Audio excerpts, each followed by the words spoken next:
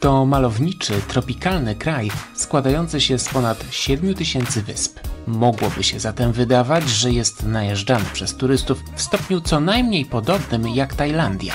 W rzeczywistości w 2023 roku Królestwo Tajów odwiedziło niemal 40 milionów turystów, a Filipiny zaledwie 9 milionów. Jak widać, Filipiny mają potencjał, który nieprędko zostanie zagospodarowany, a ponieważ wyspy są rzadziej oblegane, warto je odwiedzić, nawet jeśli nie są na liście priorytetów. W dalszej części filmu opowiadamy, co koniecznie trzeba wiedzieć o Filipinach. Nasze podpowiedzi pomogą Wam zaplanować niezapomniany urlop w tym nadal nieodkrytym raju. Numer 1. Ustrój polityczny.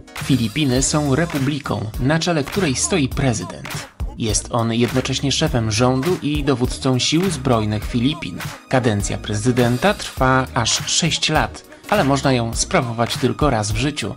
Nie ma możliwości starania się o reelekcję. Wybory prezydenckie rozstrzygane są w jednej turze. Numer 2. Nazwa archipelagu pochodzi od imienia króla Hiszpanii Filipa II Habsburga. To na jego cześć 1543 roku, gdy był jeszcze księciem, nazwano je Las Islas Filipinas. Skrócona nazwa Filipiny pojawiła się w czasie rządów amerykańskich. Od odzyskania niepodległości w 1946 roku oficjalna nazwa państwa brzmi Republika Filipin. Numer 3. Wiza. Obywatele polscy zwolnieni są z obowiązku wizowego przy pobycie do 30 dni. Po przylocie trzeba wypełnić elektroniczną deklarację e-travel oraz odpowiedzieć na kilka pytań podczas kontroli paszportowej. Numer 4. Języki urzędowe. Na Filipinach obowiązują dwa języki urzędowe. Pierwszy to filipiński oparty na dialekcie Tagalog, a drugi angielski. Zdezorientowani? Przecież przez 333 lata wyspy były hiszpańską kolonią, ale poza architekturą praktycznie nie zaobserwowaliśmy iberyjskich wpływów w kulturze czy języku. Za to panujący tam niecałe 50 lat Amerykanie zostawili za sobą nie tylko samochody, ale również angielski jako język urzędowy. Numer 5.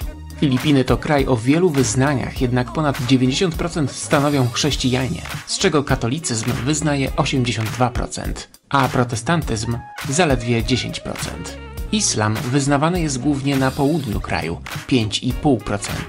Religie plemienne wyznaje 1,5% ludności. Inne wyznania lub ateiści to zaledwie 1%. Numer 6. Waluta i płatności. Walutą Filipin jest peso. Jedna sztuka warta jest zaledwie kilka polskich groszy. Nazwa związana jest z kolonialną przeszłością Filipin, ale współczesne peso filipińskie zapisuje się słowem pochodzącym z języka filipińskiego piso. Z polskiego punktu widzenia to waluta egzotyczna, którą spotyka się w kantorach niezwykle rzadko i dlatego taniej będzie wybrać banknoty z bankomatu na Filipinach, mimo obowiązującej prowizji, niż kupować na drugim końcu świata. Numer 7. Prom.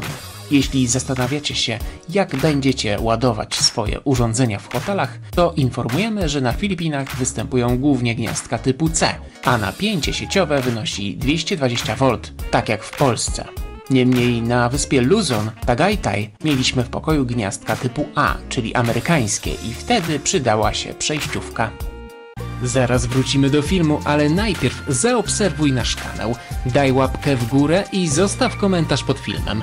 Ten sposób pomożesz nam dotrzeć z nim do szerszej widowni. Dziękujemy. Numer 8. Komunikacja zbiorowa. Podczas podróży po Filipinach jeździliśmy, lataliśmy i pływaliśmy każdym środkiem transportu. Była to podróż pełna wrażeń, dlatego z naszego doświadczenia najlepiej po kraju podróżować autobusami. Zdziwienie wywołuje liczba siedzeń w rzędzie. Jest ich pięć. Ciasno, ale przynajmniej w klimatyzacji. Aby skorzystać z usługi, trzeba po prostu przyjść wcześniej na dworzec lub przystanek i wejść do autobusu. Bilety kupuje się już w trakcie jazdy. Tańszą alternatywą są jeepneye.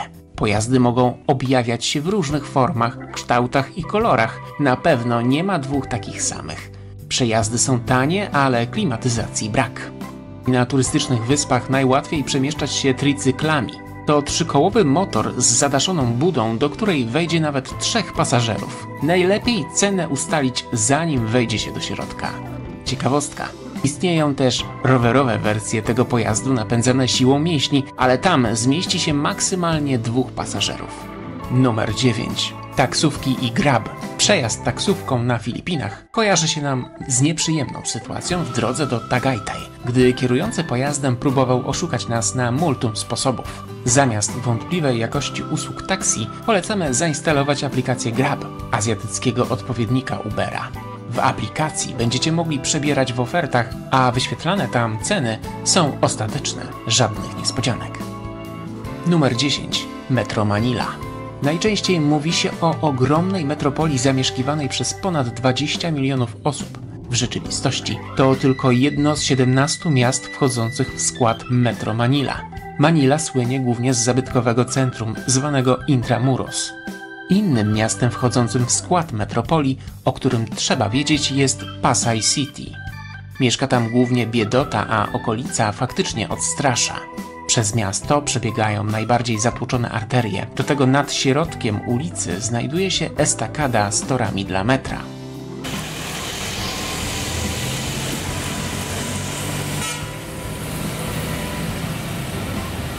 Ciągły hałas, brud i smród daje się we znaki. Przytłaczające?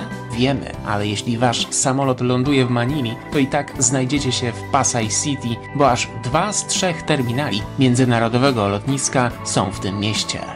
Zupełnym przeciwieństwem Pasay jest Makati, gdzie znajduje się wiele luksusowych apartamentowców, są centra handlowe i parki miejskie, no i ogólnie jest jakoś ładniej.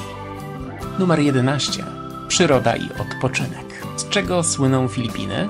Ponad 7 tysięcy wysp archipelagu to różnorodne, zielone ekosystemy, majestatyczne góry, drzemiące wulkany, a także niesamowity podwodny świat. Archipelag posiada wiele wysp przystosowanych do celów turystycznych. Znajdują się tam hotele dopasowane do każdej kieszeni, a turystów zdecydowanie mniej niż w jakimkolwiek innym kraju Azji Południowo-Wschodniej.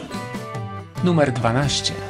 Zabytki na Filipinach są bardzo zaniedbane, ale jeśli chcecie poznać kolonialną historię kraju, to najważniejsze będą tu kościoły. Są to budynki bardzo charakterystyczne, zbudowane według popularnego hiszpańskiego założenia. Niektóre z nich są naprawdę stare. Na przykład kościół w miejscowości Baclayon na wyspie Bohol pochodzi z początku XVIII wieku. Polecamy też odwiedzić zabytkowe centrum Manili, Intramuros oraz Fort Santiago, a jeśli chcecie zgłębić historię Magellana, polecamy odwiedzić wyspy Mactan i Cebu. Na tej pierwszej, w miejscu jego śmierci, wybudowano ogromny obelisk. Numer 13. Jedzenie. Kuchnia filipińska wykazuje silne wpływy malajskie i chińskie, zatem nikogo nie zdziwi, że podstawą niemal każdego dania są makarony i ryż, a głównym składnikiem mięsnym kurczak. Popularne są także owoce morza oraz zupy. Potrawy są jednak ostre i trzeba na to uważać. Więcej w naszym przewodniku po kuchni Filipin. Numer 14. Pogoda. Na Filipinach występują dwie pory roku, sucha i deszczowa. Pora sucha przypada mniej więcej od połowy listopada do maja, a pora deszczowa od czerwca do października. Na urlop najlepiej jechać w porze suchej, wtedy temperatura sięga nawet 33 stopni, a możliwość spotkania tajfunów jest niewielka. Najchłodniejszymi, choć wciąż ciepłymi miesiącami w roku są styczeń i luty. Byliście już na Filipinach? A może się wybieracie? Dajcie znać w komentarzach. Do zobaczenia w podróży.